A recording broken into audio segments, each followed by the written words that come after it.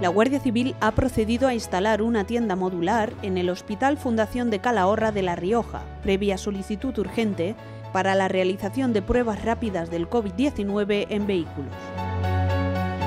Con la aprobación de la Delegación del Gobierno y del Servicio de Sanidad, la unidad del GAR, al disponer de dicha tienda, procedió al montaje de la misma.